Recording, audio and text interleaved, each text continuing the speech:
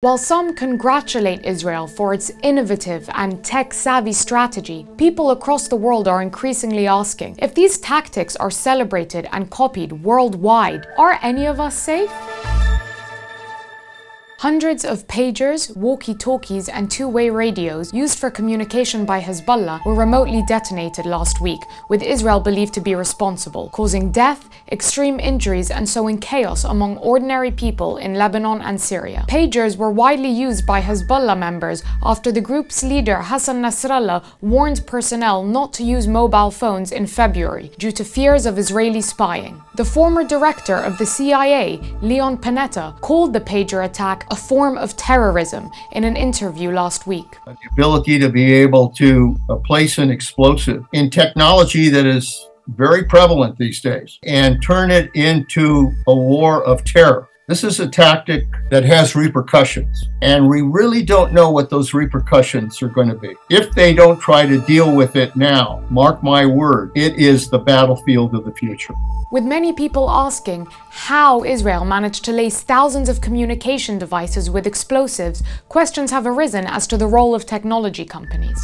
But this isn't the first time. In 1972, Israel placed explosives inside a landline phone used by the PLO's representative to Paris, Mahmoud Hamshari, and inside a mobile phone used by Hamas military leader Yahya Ayyash in 1996, killing both. And just last month, Former Hamas leader Ismail Haniyeh's son claimed that the guided missile that had killed Haniyeh had tracked his cell phone. Israel's Prime Minister Benjamin Netanyahu has previously praised cyber operations, especially big data and AI, as the future of warfare. Between big data connectivity and artificial intelligence, we have vast opportunities. But the most famous form of cyber warfare is Pegasus, a spyware created by Israeli company NSO Group that can be remotely installed on mobile phones without their users knowing. NSO Group was founded by former members of Unit 8200, Israel's military cyber warfare unit. It has been used to spy on foreign heads of state from France to South Africa and has also been sold to foreign governments to spy on opposition politicians,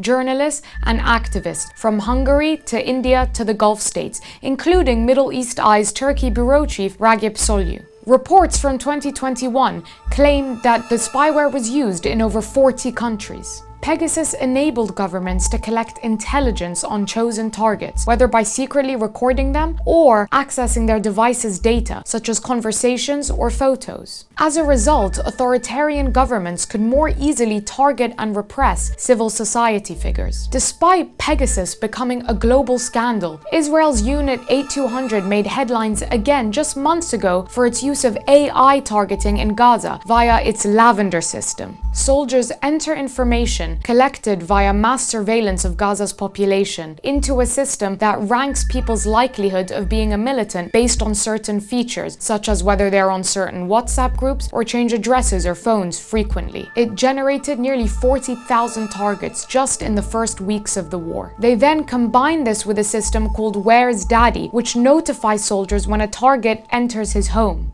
The building is then bombed, killing the target along with his entire family. 972 Mag later reported that Israel's army stores much of this data using Amazon, Microsoft, or Google, aiding its military operations in Gaza. For these tech companies, securing contracts with Israel's military is considered the best marketing there is because Israel is a trendsetter for security agencies worldwide, with occupied Palestine as its laboratory, according to Colonel Avi Dadon. For several years, Palestinians, digital rights campaigners, and even some Israeli soldiers have spoken out against these practices. And after the deadly pager attacks, many Lebanese civilians have also worried about their safety, concerned that their phones or other devices could be compromised.